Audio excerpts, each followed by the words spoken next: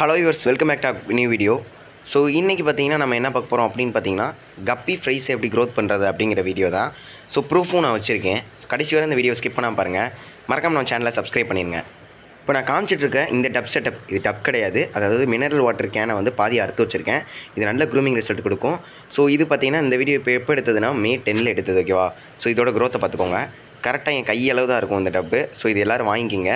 அதாவது நம்ம குடிக்கிற தண்ணி கேன் இது பார்த்தீங்கன்னா நான் கிட்டத்தட்ட மே தேர்ட்டி ஒன் அதாவது இன்றைக்கி டேட் ஓகேவா இன்றைக்கி டேட் என்ன? மே தேர்ட்டி ஒன் இப்போ இந்த வீடியோ எடுத்தது. ஸோ க்ரோத் உங்களுக்கே தெரியும். இன்ஸ்டன்ட் க்ரோத் சடன் க்ரோத் இருக்குது ஸோ இது எப்படி க்ரோத் பண்ணுறது அப்படிங்கிறதா இந்த வீடியோ மறக்காமல் ஸ்கிப் பண்ணாமல் பாருங்கள் எந்த மீனை க்ரோத் பண்ணாலும் மூ மூணு விஷயம் இருக்குது அந்த மூணு விஷயத்தையும் நான் முதல்ல சொல்லிடுறேன்.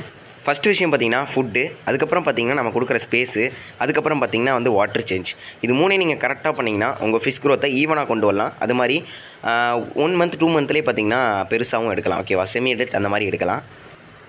ஃபஸ்ட் ஸ்பேஸ்லேருந்தே போயிடுவோம் இப்போ நான் காட்டுற மினரல் கேனை பாதி அறுத்து பார்த்திங்கன்னா வச்சுருக்கேன். ஸோ இப்போ இந்த டப்பில் தான் வந்து க்ளீன் பண்ணி கிட்டத்தட்ட ஒன் மந்த் ஆனோன்னா இந்த டப்பை க்ளீன் பண்ணி இந்த டப்பில் தான் நம்ம செட்டப் பண்ண போகிறோம் ஸோ என் கையை பார்த்துக்கோங்க பெரிய டப்பு. இதோட ப்ரைஸ் நூற்றி இருபது ரூபா. போன வீடியோவில் போட்டிருக்கோம். அதோட லிங்க் கீழே கொடுக்குறேன்.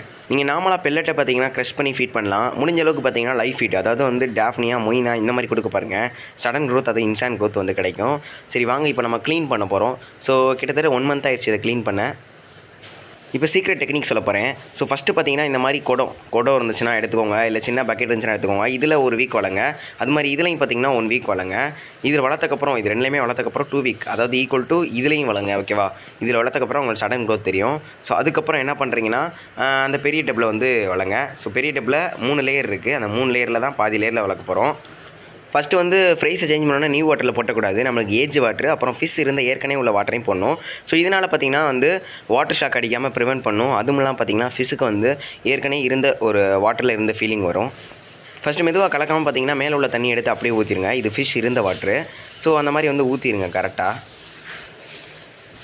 இன்னொரு வாட்டை ஊற்றும் போது பார்த்தீங்கன்னா ஒரு குட்டியும் மாட்டிக்கிச்சு. சரி அதையும் எடுத்து ஊற்றியாச்சு இப்போ நீங்கள் வலையை வச்சு நெட்டை வச்சு பார்த்தீங்கன்னா அம்புட்டு ஃப்ரைஸை வந்து பிடிச்சி எடுத்துடலாம். இப்போ அம்புட்டையும் பார்த்தீங்கன்னா நான் வந்து பிடிச்சி எடுத்துட்டேன்.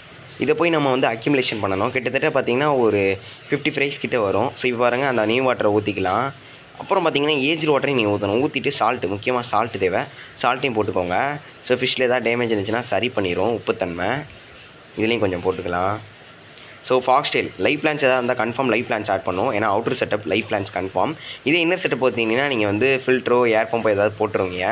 ஸோ அவுட்டர் செட்டப்னால பார்த்தீங்கன்னா நம்மளுக்கு லைவ் பிளான்ஸ் முக்கியமாக தேவை. நான் கொஞ்சம் டக் வீட்ஸ் இதெல்லாம் எடுத்துக்கிறேன். ஃபஸ்ட்டு நம்ம வந்து எடுத்தோடனே ஊற்றிடக்கூடாது அக்யூமுலேஷன் ப்ராசஸ் பண்ணணும். அக்யூமுலேஷன்னா வேறு ஒன்றுமே கிடையாது. டெம்பரேச்சரை வந்து கரெக்டாக வைக்கிறது. ஒரு பத்து நிமிஷம் கழிச்சு பார்த்தீங்கன்னா மெதுவாக ஃபிஷ் எல்லாமே பார்த்தீங்கன்னா கீழே வச்சுட்டேன். ஸோ நீங்களாக வற்படுத்தி ஊற்றக்கூடாது சும்மா வச்சாலே பார்த்தீங்கன்னா அது வாட்டியே போயிடும் அவ்வளோங்க இந்த வீடியோ இந்த வீடியோவில் எதுவும் வேறு எதுவும் டவுட் வேணும்னா கீழே கமெண்ட் பண்ணுங்கள் மறக்காமல் நம்ம சேனலை பார்த்தீங்கன்னா லைக் சப்ஸ்கிரைப் ஷேர் பண்ணிடுங்க ஸோ மெதுவாக வந்து ஃபிஷ் எல்லாமே போயிடும். கீழே உள்ள வேஸ்ட் நீங்கள் அப்படியே எடுத்துடலாம். ஒரு ஒரு ஃபிஷ்ஷாக போகும்போது எல்லா ஃபிஷ்ஷுமே கரெக்டாக மெயின்டைனாக போயிடும் ஸோ வேஸ்ட்டை பார்த்தீங்கன்னா நீங்கள் கரெக்டாகவும் எடுத்துடலாம்.